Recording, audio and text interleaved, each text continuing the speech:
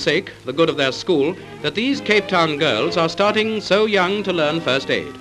Later on, it'll be for the good of the community, as many of the girls intend to take up nursing as a profession. Nursey Elsie is eight, but with a confidence of 28.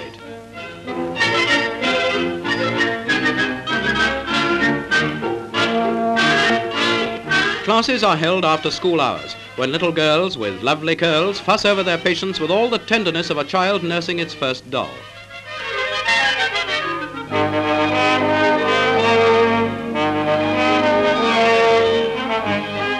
At this first aid class, you can choose your own type of bandage and your own type of nurse. You can have a brunette or a blonde.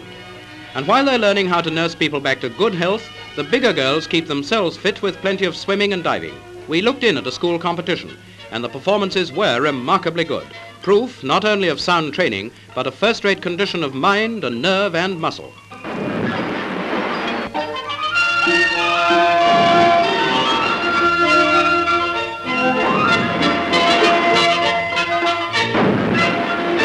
What better training for young bodies? What better means of instilling confidence and that spirit of healthy rivalry which makes a youngster go all out to win?